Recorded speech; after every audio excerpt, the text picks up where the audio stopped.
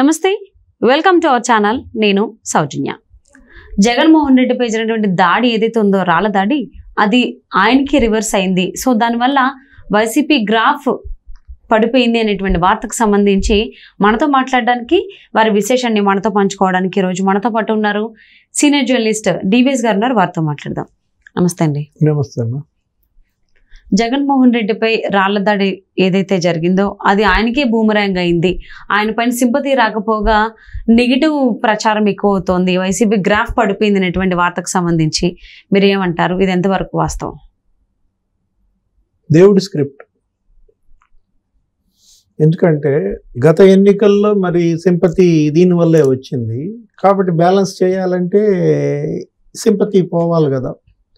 అందుకని దీని ఎఫెక్ట్ దానికి కొట్టిందనమాట ఇప్పుడు రాయి దెబ్బ సింపతి దేవుడు ఎరుగు ఉన్న మైలేజ్ పోగొట్టిందనమాట ఎందుకని? ఇది డ్రామా. ఇది నాటకం అనేది ప్రజల్లోకి వెళ్ళిపోయింది. జగన్మోహన్ రెడ్డి వాళ్ళ నిజం చెప్పినా జనం నమ్మే పరిస్థితి లేదు. అంతగా ఆయన డిమోరలైజ్ అయ్యాడు. అంతగా ఆయన క్రెడిబిలిటీని కోల్పోయాడు అనమాట ఎందుకని? తినగ తినగా వేము తీయగుండు గారెలు చేదవుతాయని ఒక సామెత. ఇక్కడ ఇక్కడ ఏమైపోయింది? చేదైపోయాడు. ఐదేళ్ళ జగన్మోహన్ రెడ్డి పరిపాలనలో ఇతన్ని చూసి చూసి చూసి ఇతని మాటలు విని విని చేదైపోయిన పరిస్థితి అన్నమాట. ఎందుకని? ఈయన చెప్పేది చెయ్యడు. చేసింది చెప్పడు. నోరు ధరిస్తే అబద్ధం. అనేది ప్రజల్లోకి వెళ్ళిపోయింది అనమాట అంతా కూడా అర్థం చేసుకుంటున్నారు. ఇప్పుడేంటి? గత ఎన్నికల్లో కోడికత్తి కేసు. అది ఎలా అయితే డ్రామా అనేది వాళ్ళ తేలిపోయిందో కనీసం ఆ కేసులో కోర్టు వాయిదాలకు కూడా ఈయన వెళ్ళకుండా ఆ జల్లిపల్లి శ్రీనివాస్ని ఎలా ఇబ్బంది పెట్టారో అతని తల్లి సావిత్రి అతని సోదరుడు సుబ్బరాజు అనేక సార్లు జగన్మోహన్ రెడ్డి దగ్గరికి వచ్చిన అపాయింట్మెంట్ ఇవ్వకుండా వాళ్ళని ఎలా ఇబ్బంది పెట్టారో ఆ కోడికత్తి కేసు మరి అది ఒక పెద్ద డ్రామా అనేది వాళ్ళ జనం ముందు. ఇది కూడా ఏమంటున్నారు? ఈ రాయి బెజవాడ దాడి కూడా కోడికత్తి టూ పాయింట్ ఓ అంటున్నారు. అంటే క్రెడిబిలిటీ ఎంత దెబ్బతింది అనేది అనమాట ఇప్పుడు వివేకానంద రెడ్డి హత్య కేసు దాన్ని ఏమన్నారు? గొడ్డలి వేటు అన్నారు. గుండెపోటు అన్నారు. గొడ్డలి వేటు కాదు? మొదట ఏమని ప్రసారం చేశారు? గుండెపోటు. ఈ రోజు కూడా సునీత దాని మీద ఒక పవర్ ప్రజెంటేషన్ ఇచ్చింది. ఏమని? హత్య జరిగింది. దారుణ కిరాతక హత్య గొడ్డలి వేట్లన్నీ ఉంటే గుండెపోటని మరి మా జగనన్న మీడియా ఎలా చెప్పింది? అని ఇవాళ ఆమె మొత్తం అసలు వీళ్ళని నగ్నంగా నిలబెట్టింది అనమాట ఆ ప్రజెంటేషన్ ద్వారా. జగన్మోహన్ రెడ్డి కావాలనే చిన్నాన్న హత్య కేసుని గుండెపోటుగా చిత్రించాడని గుండెపోటు అన్నాడు మళ్ళీ ఏం చేశాడు? నాలుగు గంటల్లో మార్త మార్చేశాడు. దాన్ని నారాసుర రక్త చరిత్ర అని చంద్రబాబు మీద దూసేశాడు. చంద్రబాబు చంపించాడు అన్నారు ఇప్పుడు ఆ వివేకానంద రెడ్డి హత్య కేసులో ఎవరు అరెస్ట్ అయ్యారు? తెలుగుదేశం వాళ్ళు అరెస్ట్ అయ్యారా? వైసీపీ వాళ్ళు అరెస్ట్ అయ్యారా? వైసీపీ వాళ్ళే. ఆ కేసులో చంద్రబాబు బంధువులు అరెస్ట్ అయ్యారా? జగన్మోహన్ రెడ్డి బంధువులు అరెస్ట్ అయ్యారా? జగన్మోహన్ రెడ్డి బంధువులు. ఏడుగా అవినాష్ రెడ్డి ఉన్నాడు? అవినాష్ రెడ్డి భాస్కర్ రెడ్డి తండ్రి కొడుకులు వాళ్ళంతా కూడా వైఎస్ఆర్ కాంగ్రెస్ పార్టీ నాయకులు కార్యకర్తలు. అంటే ఏంటి? ఏ విధంగా జగన్మోహన్ రెడ్డి చిన్నాన్నని చంపించి తెలుగుదేశం మీదకి నెట్టారు? ప్రజల కళ్ళ ముందు సునీతే చూపిస్తోంది సినిమా. ఈరోజు కూడా చూపించింది కదా. అంటే ఇప్పుడు ఈ కేసు కూడా ఏది? ఈ రాయి ఇదేంటి? ఇది కూడా ఒక ఫ్యాబ్రికేటెడ్ ఒక ప్రీ ప్లాన్డ్ అరేంజ్మెంటు ముందే పెట్టుకున్నారు ఇదంతా. అట్నుంచి రాయి వస్తుంది. ఆ రాయిని నువ్వు కెమెరాతో అటువైపే పెట్టి నన్ను తీయకుండా జనాన్ని తీయకుండా దాన్ని ఆ రాయి వచ్చేటప్పుడే తీయి. ఈ సీసీటీవీ ఫుటేజ్లు కూడా దానికి ఉపయోగపడతాయి.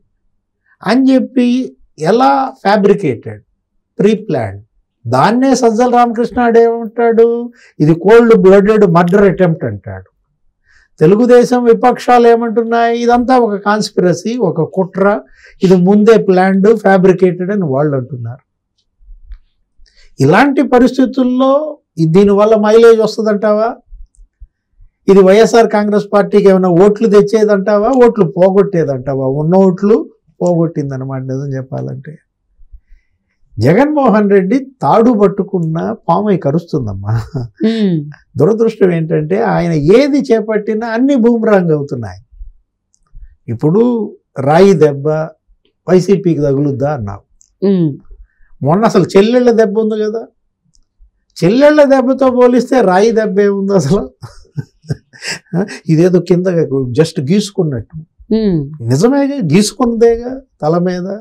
కానీ చెల్లెళ్ళ దెబ్బే దెబ్బది అది గొడ్డల దెబ్బ లాగుంది మామూలు దెబ్బలు కొడుతున్నా ఒక్కొక్క చెల్లి ఎవరు షర్మిల కొట్టే దెబ్బ సునీత కొట్టే దెబ్బలకి వైసీపీ వాళ్ళ కక వికలమైపోతుంది. షర్మిల చేసే ప్రసంగాలు బస్సు యాత్రలో ఆమె చేస్తున్నటువంటి విమర్శలు నీకు చూసావు కదా. ఏంటి? ప్రత్యేక హోదా ఏది జగనన్న అంటాం అవును. ఏం చెప్తాడు దానికి సమాధానం?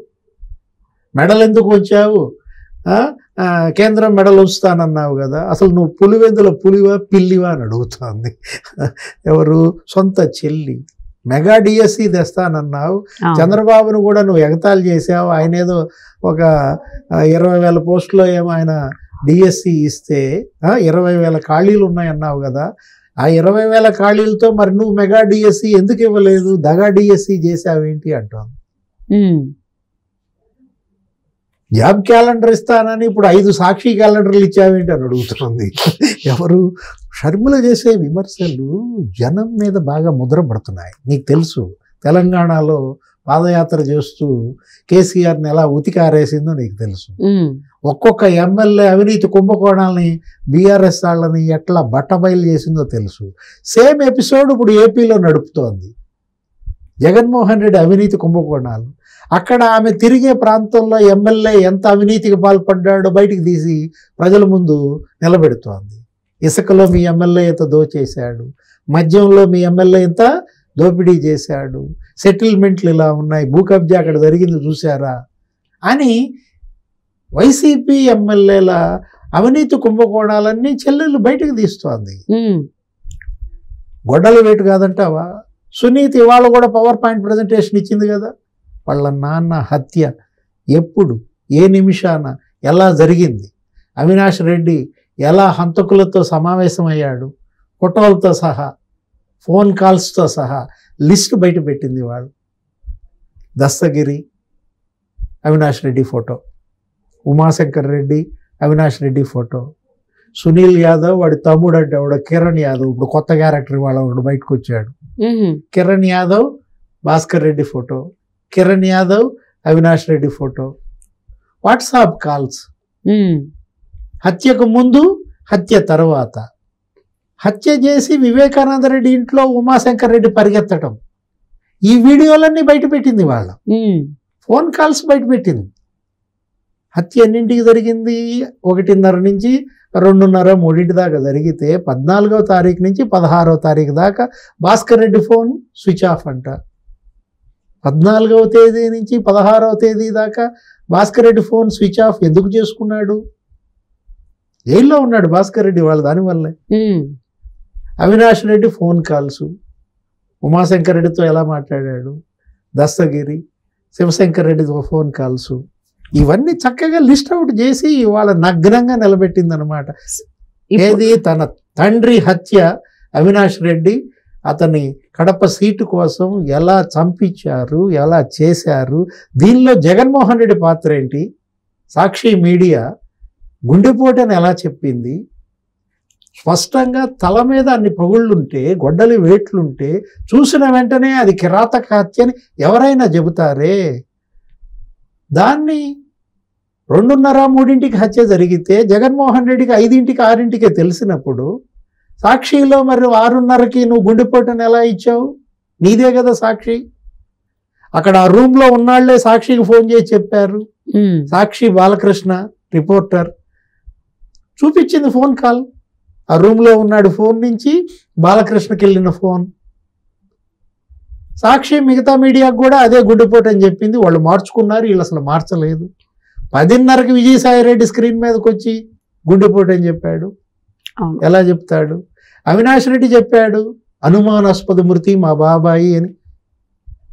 పదకొండింటికి నువ్వు అవినాష్ రెడ్డి స్క్రీన్ మీదకి వచ్చి అనుమానాస్పద మృతి అని ఎలా చెప్తావు? అది అనుమానాస్పద మృతి ఎన్ని గొడ్డలి వేట్లు? అమాయకుడు కాబట్టి అవినాష్ రెడ్డి అవి ఏం చెప్పలేకపోయాడు ఏడు. గొడ్డలి వేట్లు తల పగిలి తల వెనక పగిలితే అవినాష్ రెడ్డి అనుమానాస్పద మృతి మా చిన్నాన్నని అమాయకంగా చెప్తున్న వీడియో ఇవన్నీ వేసి చూపించింది. అంటే నువ్వు రాయి దెబ్బకి వైసీపీ గ్రాఫ్ పడిపోయిందా అంటే రాయి దెబ్బ కాదమ్మా అది స్వల్ప దెబ్బ జస్ట్ గీసుకుంది. రాయి దెబ్బకి వైసీపీ గ్రాఫ్ కొంత పడింది. అసలు గొడ్డల దెబ్బలు ఉన్నాయి. చెల్లెళ్ళు వేసిన గొడ్డళ్ళ దెబ్బకి వైసీపీ గ్రాఫ్ ఇవాళ అధోగతికి పడిపోయింది. సర్వేలు కూడా అదే వస్తున్నాయి కదా. ఏంటి? ఒక సర్వే నిన్న చూసాం. యాభై ఏడు పర్సెంట్ ఉంది. తెలుగుదేశం బీజేపీ జనసేన వీళ్ళు ఫార్టీ టూ పర్సెంట్లో ఉన్నారు వైసీపీ. పదిహేను పర్సెంట్ నీకు ఓట్ గ్యాప్ కూడా కనపడుతుంది ఎన్డీఏ తెలుగుదేశం జనసేన బీజేపీ నూట యాభై ఒకటి నూట అరవై సీట్లు కొడతారు. పదిహేను సీట్లు వైసీపీకి వస్తే గొప్ప. ఇలా సర్వేలు వస్తున్నాయంటే ఏ దెబ్బ అంటావు? రాయి దెబ్బ? అన్ని దెబ్బలు. ఒక దెబ్బ కాదు.